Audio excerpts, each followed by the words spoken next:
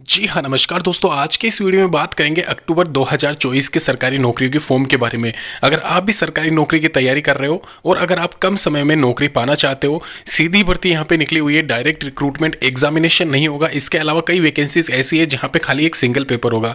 सबसे पहले वीडियो में मोस्टली यहाँ पे फोकस रखेंगे जिन एग्ज़ाम का यहाँ पे जिन वैकेंसीज का एग्ज़ाम नहीं होगा। यानी कि एक तरीके से तीन महीने या चार महीने सिंपल सा मान के चलिए, दिसंबर जनवरी तक आपका फाइनल सिलेक्शन हो जाएगा। ऐसी वैकेंसीज के बारे में ही डिस्कशन करेंगे और पूरा कंप्लीट ये वीडियो देखना। ये सारी जो वैकेंसीज है, सारी की सारी वैकेंसीज यहाँ पे गवर्नमेंट सरकारी वाली होने वाली है और साथ ही साथ यहाँ पे ध्यान रखना क्वालिफिकेशन में जिनकी सीधी भर्ती है, वो वैकेंसीज यहाँ पे टेंथ पास और ट्वेल्थ पास रहेगी, इससे ज़्यादा नहीं रहेगी। इसके अलावा जिनके एग्जामिनेशन होंगे, वो ग्रेजुएशन वाली होगी और कई ट्वेल्थ वाली होगी, ये भी यहाँ पे ध्यान रखना। वैकेंसीज के बारे में डिटेल में चर्चा करेंगे, जानेंगे यहाँ पे कैसे क्या आपको अप्लाई करना है लास्ट डेट क्या रहेगी, साथ ही साथ यहाँ पे क्वालिफिकेशन में कैसे क्या आपको मतलब एक तरीके से फॉर्म सबमिट करना है, कहाँ से करना है, कहाँ पे कम कट ऑफ़ जाती है, सब कुछ डिटेल डिस्कशन करेंगे। तो दोस्तों, यहाँ पे वापस से बात कर लेते हैं डब्ल्यूसीडी की महिला एवं बाल विकास विभाग की तरफ़ से महिला सुपरवाइजर, आशा सहयोगनी और कार्यकर्ता वाली वैकेंसी के बारे में। बीस पदों पर जो वैकेंसी है, उसकी लास्ट डेट अभी भी गई नहीं है। अगर आप में से किसी ने आवेदन नहीं किया है, रह गया है तो वह फिर से मैं यहाँ पे ये वीडियो डाल रहा हूँ आपको रिमाइंड करवाने के लिए कि अभी तक यहाँ पे इसकी लास्ट डेट नहीं गई है।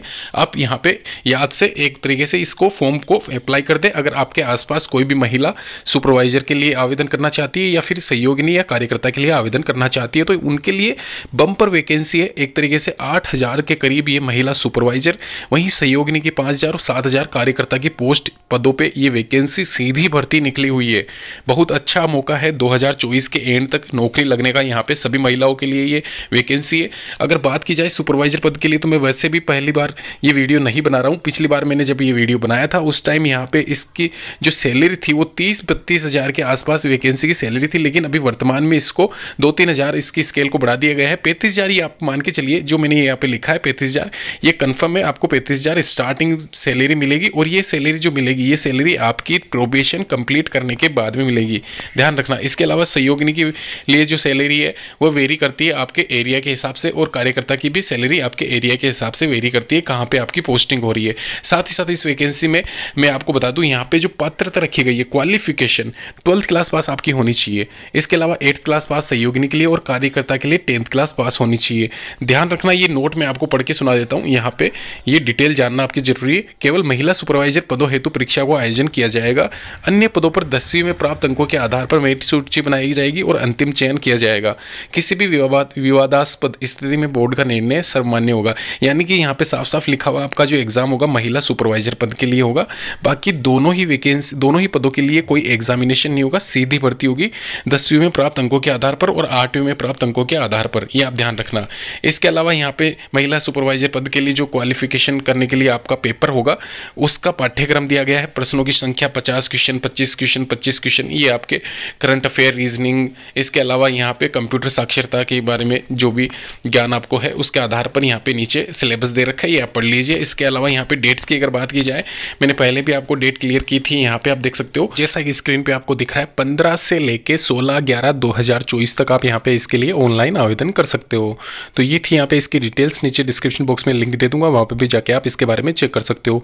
अभी एक और वैकेंसी की बात कर लेते हैं, उससे पहले आप सभी से रिक्वेस्ट है हमारे चैनल को आप ज़रूर सब्सक्राइब कर ले ऐसी न्यूज़ पाने के लिए। दोस्तों, बात करेंगे यहाँ पे आंगनबाड़ी भर्ती दो के बारे में। आईसीडीएस डिपार्टमेंट की तरफ़ से यहाँ पे दो और पच्चीस के लिए वैकेंसीज स्टेट वाइज यहाँ पे लिस्ट जारी की गई है। जैसे कि आपको स्क्रीन पे मैं बता रहा हूँ, यहाँ पे ये 2024 और 25 के लिए है। 24 और 25 के लिए यहाँ पे सभी स्टेट में कितनी वैकेंसीज निकलने वाली है और इसके अलावा किन किन स्टेट्स में वैकेंसीज निकल चुकी है, उसके बारे में डिटेल में चर्चा करेंगे।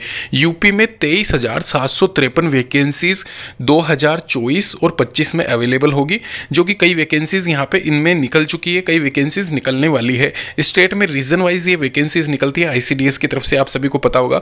मैं एक यहाँ पे पीडीएफ आपसे शेयर करने वाला हूँ, क्योंकि अभी फ़िलहाल यहाँ पे यूपी में तेईस हज़ार के करीब वैकेंसीज में से पंद्रह सोलह हज़ार के करीब वैकेंसीज निकल चुकी है और रिमेनिंग जो वैकेंसीज है, वो भी निकल चुकी है। उसके भी मैं आपको प्रूफ दूँगा। आप वीडियो को पूरा डिटेल में देखिए। इसके अलावा आप जिस भी स्टेट से बिलोंग करते हो, आप यहाँ पे पूरी लिस्ट देख लीजिए। 2024 और 25 में इतनी वैकेंसीज यहाँ पे आईसीडीएस की तरफ़ से निकलने वाली है और कुछ एक वैकेंसीज फुलफिल हो चुकी है। इसका प्रूफ भी मैं आपको दूँगा। यहाँ पे पूरी लिस्ट देख लीजिए। सबसे पहले आप जिस भी स्टेट से बिलोंग करते हो और यहाँ पे बेसिक बेसिक चीज़ें मैं बता देता हूँ। यहाँ पे इसमें कार्यकर्ता के लिए पांचवी क्लास पास होना अनिवार्य है। हेल्पर के लिए टेंथ क्लास पर्यवेक्षक के लिए ट्वेल्थ क्लास और वहीं ग्रेजुएशन कर रखा तो सभी पोस्ट के लिए एलिजिबल है। अभी ये सब सारी चीज़ें आप सभी को पता होगा। सबसे पहले मैं आपको पीडीएफ शेयर कर देता हूँ एक तो दोस्तों, जैसे कि आपको यहाँ पे स्क्रीन पे दिख रहा है, सबसे पहले यूपी वाली ही बात कर रहा हूँ मैं यहाँ पे। यूपी की ही मैं प्रूफ दूँगा।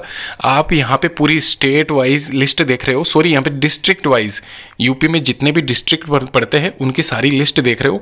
यहाँ पे कुछ एक बैक डेट की आपको दिखेगी लास्ट डेट जो कि वैकेंसी के एग्जामिनेशन हो चुके हैं सिलेक्टेड रीजन में। अभी जो नया वाला रीजन है, जैसे कि आपको स्क्रीन पर दिख रहा होगा, देवरिया, इसके अलावा ये दस पंद्रह तरह के डिस्ट्रिक्ट है, वहाँ पर सबसे पहले मैं ओपन कर लेता हूँ इसकी पीडीएफ जो स्टार्टिंग में आपको देवरिया दिख रहा है। उसकी टोटल नंबर ऑफ़ वैकेंसीज दो है। नौ ग्यारह दो इसकी लास्ट डेट है। इसके अलावा हरदोई हुआ, यहाँ पे और एक दस पंद्रह तरह के इस वो डिस्ट्रिक्ट है। उनकी भी आप पीडीएफ क्लिक करके नीचे लिंक दे दूँगा, जैसे भी हो क्लिक करके देख लेना। सबसे पहले ऊपर वाला ओपन कर लेते हैं, यहाँ पे आपको दिख रहा है। इस डिस्ट्रिक्ट में जितने भी गाँव आते हैं, उनकी लिस्ट दे रखी है और उसके सामने वैकेंसीज उस गाँव में कितनी है, वो भी बता रखी है। तो ये यहाँ पे इतना डीप जाके मैंने आपको प्रूफ दे दिया है। ये सारी वैकेंसीज जो यूपी में तेईस हज़ार निकली हुई है। वो सभी स्टेट में जितनी मैंने बता रखी है, उतनी निकलनी है। कुछ एक निकल चुकी है, कुछ एक निकल रही है। या जैसे कि आपको मैंने अभी पीडीएफ शेयर करा है, नौ ग्यारह दो हज़ार चौबीस। इस सिलेक्टेड रीजन की लास्ट डेट है। अगर आप यहाँ पे इस सिलेक्टेड रीजन में आते हो तो अप्लाई कर सकते हो। वैकेंसी का नीचे लिंक भी दे दूँगा। वहाँ पर जाके आप डाउनलोड करके भी इसके बारे में संपूर्ण जानकारी ले सकते हो। दोस्तों, अगली vacancy India post payment bank bank की रिक्रूटमेंट है, जो कि एग्जीक्यूटिव पोस्ट के लिए होने वाली है ये भर्ती। और यह भर्ती के लिए एलिजिबल कैंडिडेट खाली डाक सेवक है, यानी कि जो डाक विभाग में डाक सेवक के पद पर दो साल से कार्यरत है, वही लोग यहाँ पे इस वैकेंसी के लिए आवेदन कर सकते हैं, ये आप ध्यान रखना। ऑनलाइन रजिस्ट्रेशन आपके जो स्टार्ट होने वाले हैं, ग्यारह दस से लेकर इकतीस दस दो ये इसकी लास्ट डेट है, इकतीस दस दो इस टाइम के बीच में अगर आप ये वीडियो देख रहे हैं तो ही आप पूरा देखें, क्योंकि ये इसके एप्लीकेशन की अप्लाई करने की डेट डेट्स से। अभी मैं बात कर लेता हूँ कौन सी वैकेंसी है। सबसे बड़ी यहाँ पे कन्फ्यूज़न है इसका वैकेंसी का तो यहाँ पे मैं क्लियर कर देता हूँ। यहाँ पे ये जो वैकेंसी है, ये एग्जीक्यूटिव पोस्ट की है।